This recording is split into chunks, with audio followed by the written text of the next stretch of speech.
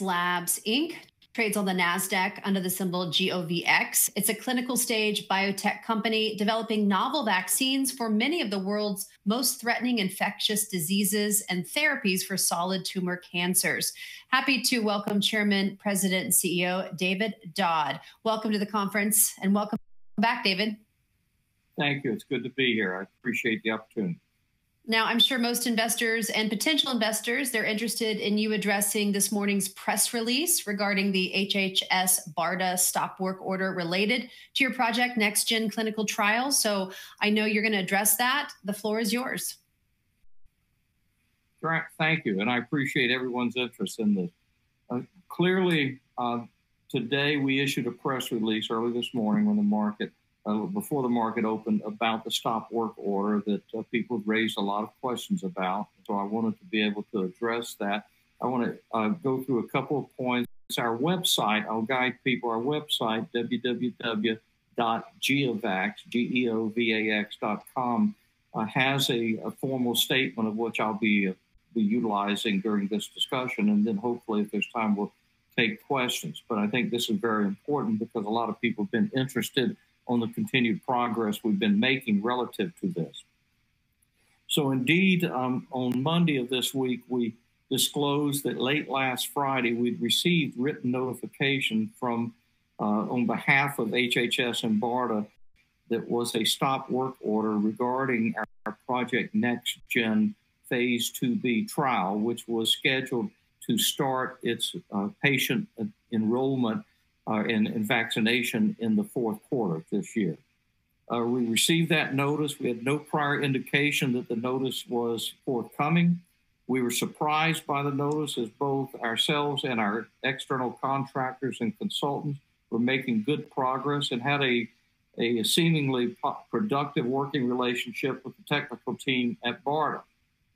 The notice invoked the termination for the convenience of the government provision of the project agreement although not referenced in the notice nor in any separate communications with the government parties, we assume from what we can determine that the contract termination is resulting from the ongoing government efficiency efforts under the new administration. The termination in no way implies any concerns as to the safety or potential efficacy of GEO CM04S1, our next generation COVID 19 vaccine, or the underlying MVA or modified Vaccinia Ankara vaccine platform or technology.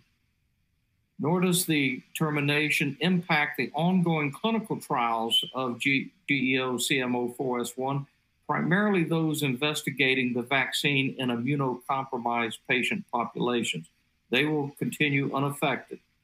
The BARDA funding pursuant to the project agreement was mostly earmarked for incremental spending with a large portion going directly to the External Clinical Research Organization, or CRO, to conduct the clinical trial. Given the structure of the award, the financial impact to GeoVax is estimated at less than $750,000 annually toward the reimbursement of existing personnel and overhead costs. GeoVax, therefore, we do not anticipate any significant changes to our ongoing operations resulting from the contract termination. The decision by BARDA to terminate our contract is most disappointing to GeoVax and our stakeholders. But it is important to understand that our Project NextGen award was never a dependency.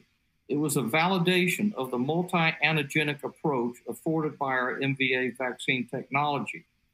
We remain committed to GEO CM04S1 as a critically needed next generation COVID 19 vaccine, providing potential of A, a more robust immune response against emerging variants. Secondly, improved durability versus the first generation COVID 19 vaccines. And lastly, especially in addressing the immune protection among those patients with compromised immune systems. Our current studies will continue, especially our focus on achieving the completion of the investigator initiated phase two trial among chronic lymphocytic leukemia or CLL patients, one of the highest risk groups in need of reducing the risk of severe infection, hospitalization, and the risk of death. demonstrating the potential superior value of GEO-CM04S1 among immunocompromised patients remains our focus for the development of differentiation from the first generation and other single antigen focused vaccines. We look forward to providing a more comprehensive update on all of our programs in the coming weeks. I do want to mention that we continue to view that the opportunity for GEO-CM04S1 on a global basis, recognizing the 40 plus million adults in the United States and the over 400 million worldwide who have medical conditions that deplete their body's ability to respond to the first generation vaccines, the value of that opportunity, in fact, the medical need is so great that the commercial value potential is estimated at over $30 billion. Our focus for immunocompromised patients, as well as a better booster on top of first generation vaccines, is such that we believe we have the opportunity to successfully secure a considerable portion of the opportunity that's out there. Regarding our GEO-MVA, our vaccine that's in development and currently uh, getting ready to start being vialed, so, so the fill and finish operation to be able to initiate our critical clinical trial yet this year. That uh, product alone has an opportunity of over $10 billion on a global basis. And our Gedeptin uh, solid tumor therapy and just addressing head and neck cancer, for which we are continuing the path towards a phase two study of Gedeptin plus an immune checkpoint inhibitor such as Keytruda in, in addressing first recurrent head and neck cancer, that represents a $15 billion opportunity. Our remaining milestones for, for 2025 will include updates on each of these programs, as well as that of our advanced MVA manufacturing process, which continues underway. With that, Anna, I'll stop it. If you have any questions, I'm happy to address them. All right, perfect. Thank you, David. We do have a few questions. Um, sorry, my thing. One second. Here we go. All right. So, is there a possibility that following the termination of the BARDA agreement, the clinical development priority will shift to pursuing EUA for GEO-MVA?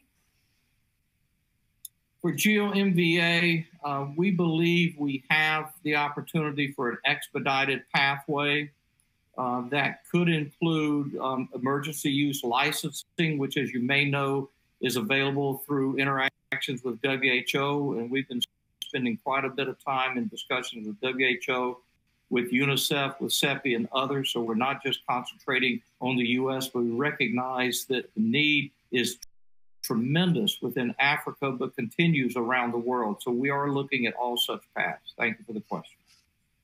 Uh, when did you say the start of the 10,000 patient trial will commence, and when are the first updates expected? Well, the 10,000 patient phase 2B trial is the BARDA Project NextGen trial, which is the subject that we addressed in the press release this morning. It, we, it, it will, we were given a stop work order to terminate going forward with that. So we were scheduled to start for, in fourth quarter of this year but given the stop work order, our arm, our study will not be started. Can you give an update on Gedeptin? Sure. Gedeptin, as we mentioned last summer, we announced that after a thorough review of the uh, of the data that we've generated, a phase one and a phase one two, we've made the decision. We've uh, hired the CRO. We're finalizing the protocol as well as uh, uh, final, you know, doing the manufacturing of the product. But that will go forward in a phase two trial among uh, of Gedeptin in conjunction with an immune checkpoint inhibitor uh, targeting first recurrent head and neck cancer patients. And we anticipate as that rolls out, we'll give more updates on that. But that's where that's progressing.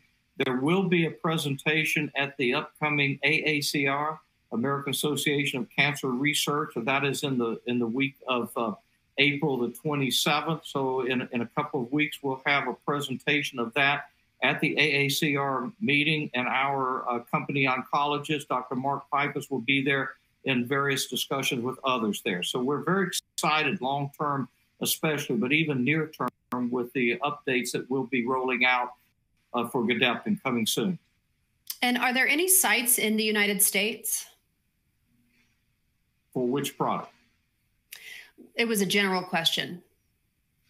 Oh yes, uh, you know, right now uh, for our for GEO CM04S1, we we have multiple sites in the United States in the in the immunocompromised trial of hematologic patients who are being prepped for stem cell transplant or a CAR T therapy. They're throughout the United States. We're, that trial will also be expanding to include sites in Canada as well as the UK. In the CLL trial, that is is specifically uh, in in the United States. Uh, two sites in uh, both out of uh, the City of Hope National Medical Center, but both in California. And, All right, and, and I, I was yes. saying, GEO-MVA, I apologize. The GEO-MVA, the MPOX site, that will be largely, those sites are anticipated to be in, in Europe as well as in Africa. And last question Must BARDA pay a termination fee and a compensation for work on trials in progress but not finished? Well, first of all, we don't have um, a clinical trial actively underway. Recall it was going to be starting in fourth quarter. But what uh, what we will be supported with is under the, the existing contract, which is covered also in the stop work order and in the contract that we have with them, is any work that we have underway related to those areas that that have been pre-cleared with BARDA, which we always have gone to. They will be reimbursed. It's a cost reimbursement, and those will be occurring. All right, perfect. Well, David, thank you for this update. We will send the rest of these questions to you and your team so you can answer on your own. But we appreciate this and we hope that we see you again real soon. Good. And thank you, everyone, for your interest. Appreciate it.